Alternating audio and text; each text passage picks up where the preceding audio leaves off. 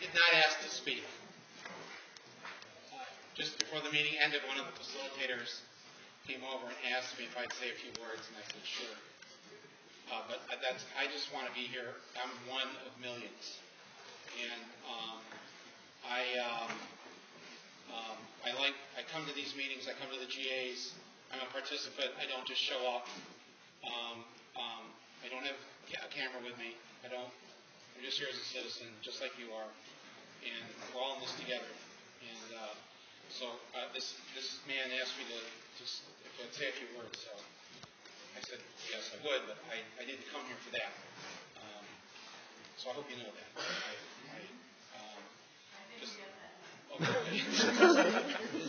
Well, because I think it's very, I think the beauty of this movement is that it doesn't have a spokesperson or a leader, and they keep asking who's the leader and who's the spokesperson. My answer always is there's 10 million leaders and 10 million spokespeople because uh, millions of people in this country have a story to tell. Everybody in this room has a story to tell and everybody is a spokesperson for this movement. Everybody watching this on the live stream right now, you're a spokesperson for the Occupy movement. Um, and I, I, been working on these issues about Wall Street and the banks and corporate America for over two decades. Um, so this is not, this is not, uh, this is not playtime for me. This, uh, this movement is the most important thing that's happening uh, in our lifetime. And it is because all the various evils in our system, all the spokes, all come to this one hub of those who control this country and the world and have wrecked it. And um, I've been traveling the country in the last few months. I've been to probably two dozen occupies around the country, every place from um, uh, Seattle and Portland and Vancouver up that way to the smallest uh, towns um, Nevada City, uh, Nevada City, California. There's 400 people there in this little tiny mountain town. Um, that's the way it is all over the country. I think you know that, right? It's, This has spread like wildfire, and and and that every poll shows that the majority of Americans agree with the principles of the Occupy Wall Street movement. Every single poll shows that either a majority support Occupy Wall Street or support the principles of it. That's amazing for a movement that is 15 weeks old.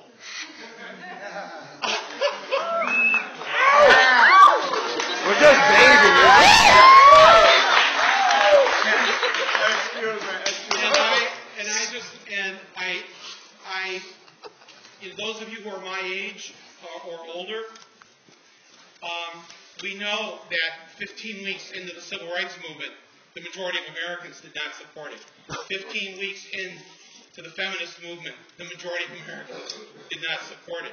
15 year, 15 weeks into the anti-Vietnam War movement, the majority of Americans did not support it.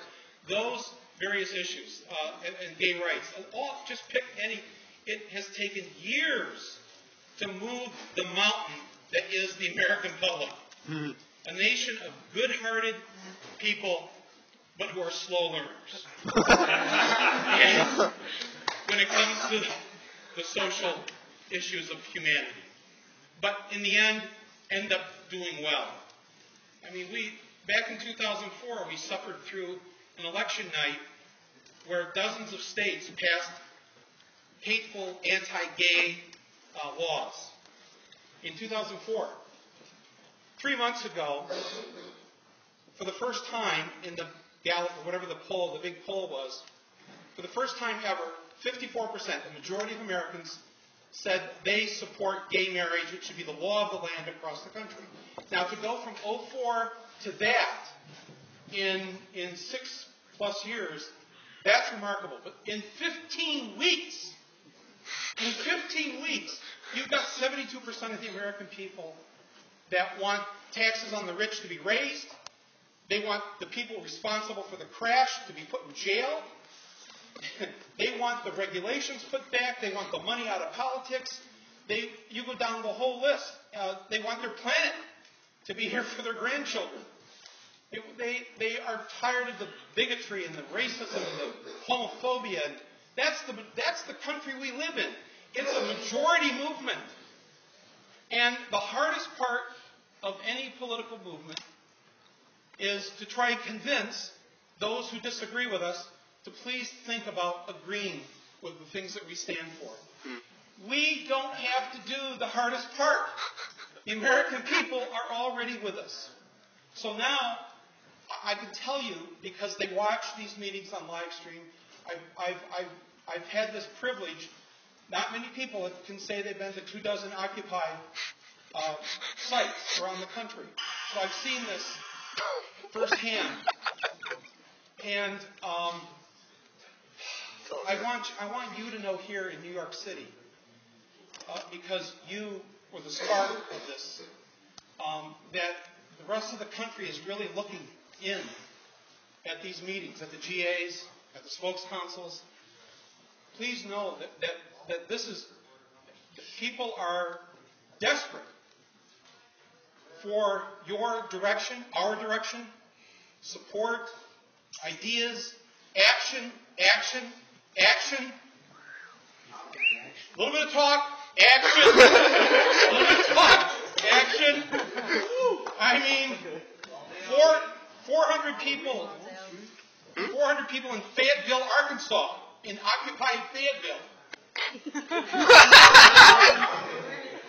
the Walmartville.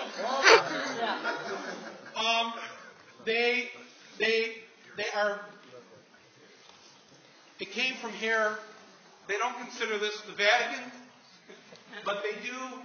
They do. They are counting on us here to get this thing into 2012 and keep doing what we've done to already get so many of the majority of Americans with us. And, and they want the next steps. Now, I know some of them, especially people my age and older, saying, oh, you know, we got to get down to the list of demands, and we got to get down to, you know, these things. And yes, I think that's important. I'm on the demands uh, working group. but,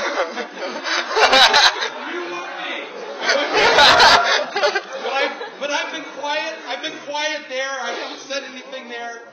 I just go and I go to the, the visions and, and goals group. Um, but let me say this: that uh, especially to the younger people here, the process is every bit as important as these demands right now. And you have to know that it's your process that you created here. It's why it's spread. If you had done it the old traditional way, with your one leader, with your that spokesperson, that and, and, and done it in this rigid sort of way, it wouldn't have spread like it spread.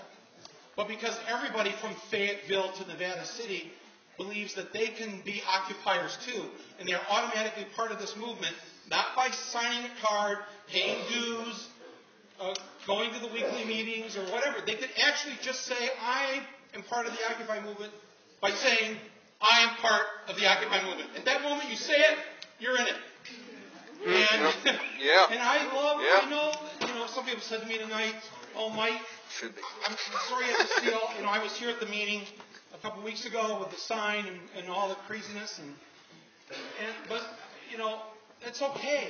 This is this is in its infancy, and there's these growing pains. The growing pains are okay. Don't everybody stick with it. Don't drop out. Don't say I can't take this anymore. Ah, this is crazy. You know, you, it's we're we're a little baby right now. We can barely talk. You know, so. right, So, so, so don't be too hard on yourselves. Keep this process going, this egalitarian consensus process.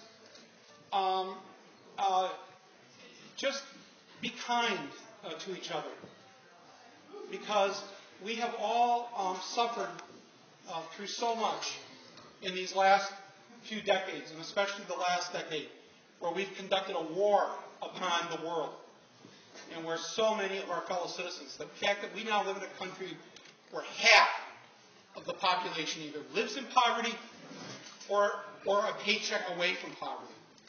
This is absolutely disgraceful. It's why we're a majority movement. And when people ask me, who started this? Who started this movement? Ah, it was that magazine in Vancouver.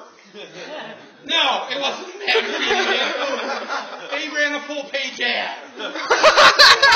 told us to have one demand. And that was supposed to be it.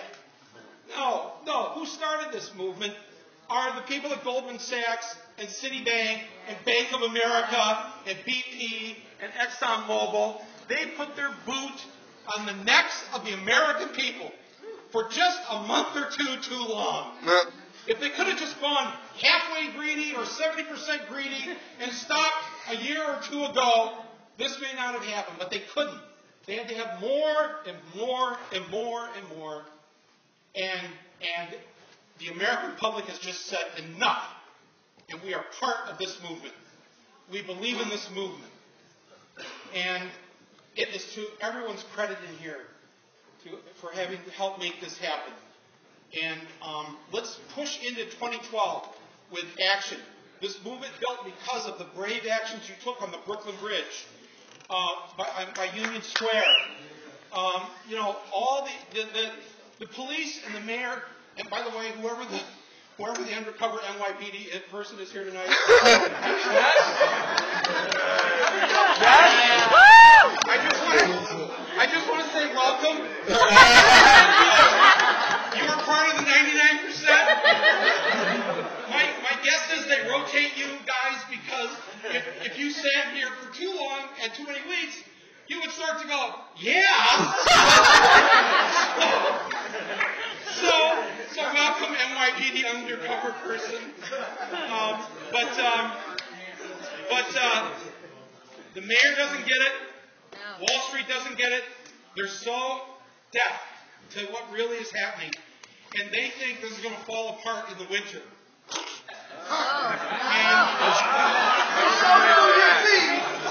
We're still here. If they don't understand the human, the human population, history is full of examples from Leningrad to Valley Forge to uh, the people who took over the factories in Flint, Michigan 75 years ago this week.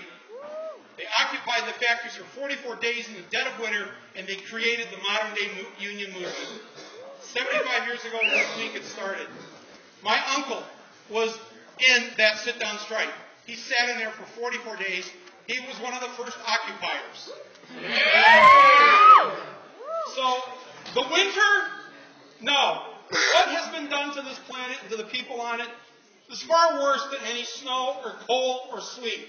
And this movement isn't going to stop. It has to continue with action through the winter, and and we're always one or two feet ahead of these guys, anyways.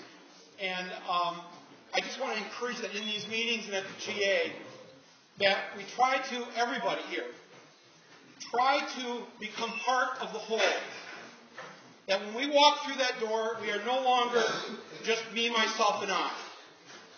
It's important that we never lose our individuality, that we respect every single person in here, even if you're the lone voice. But at some, but at some point, for this to succeed, we have to realize that we're doing this as a whole, and to try and check those parts of us that are um, in need and these meetings aren't really for that. Um, that's my personal opinion from, from what I've seen. But please don't take that to mean that um, people, anybody here shouldn't participate or say anything or whatever. But I'm just saying that if you're watching this now, you're watching, people are watching this across the country.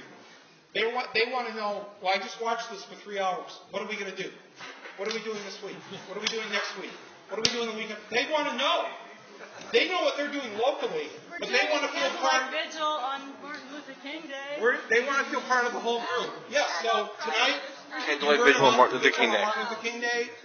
Candlelight vigil Martin Luther King Day, 2 p.m. Just Uh, you can't come to Mayor Bloomberg's house if you live in Idaho. But the, the vigil, the candlelight vigil is worldwide. Yeah. So Candlelight anyway, vigil is worldwide. I, honest to God, I did not come here to say a word. You see me here. I sit here quietly. I just want to be one of the whole.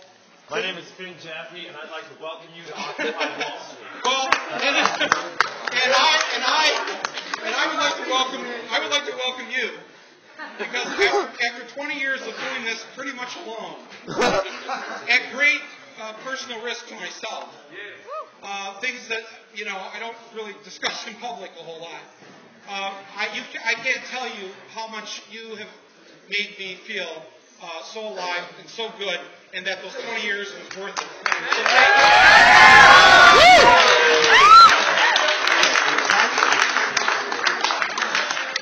Thank you very much. Thank you very much, all of you. Thanks for the.